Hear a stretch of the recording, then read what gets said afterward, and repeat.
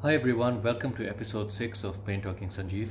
Today I have a light-hearted story to tell and it involves none other than Air India, which is the favorite airline of so many of us Indians for various sentimental and emotional reasons.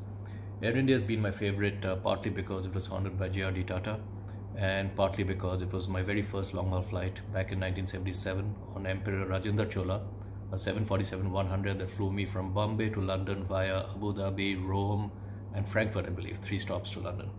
Anyhow, the story I'm about to tell is from 1992 when my wife and I were newly married. My wife's name is Upasna.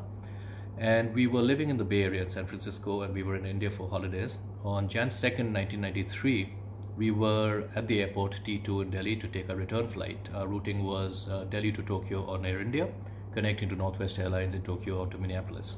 When we reached Delhi airport, we were given some bad news. We were told that uh, unfortunately, the 50 passengers who were meant to board in Delhi would have to come back the next day because the aircraft had filled up in Bombay itself due to overbooking. Now, of course, the 50 of us were not not excited. Uh, you know, we started uh, protesting. I have to admit that I was a part of that. Uh, not violent, not abusive, but just you know, uh, very firmly saying that there must be some way out or some alternative or some other airline that could book us on.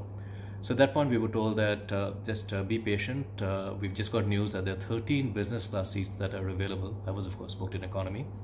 And uh, we will select 13 passengers and we'll let you know, so please wait.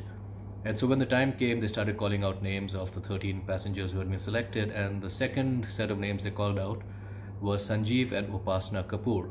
So at that point, our mood changed and we didn't look back at the other 49 or 50 people who were there rushed to the counter and the lady gave it to us with a smile and a wink, gave us the boarding passes and said, it's your lucky day today. The airport manager the, my manager chose you because his daughter's name is Upasna and therefore Sanjiv and Upasna Kapoor got on board.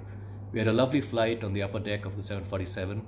We felt a bit bad looking back at the others who didn't make it, but you know, what does one do in this situation? So we just uh, thanked our lucky stars, thanked Air India, and had a great flight and had a story to tell all these years later.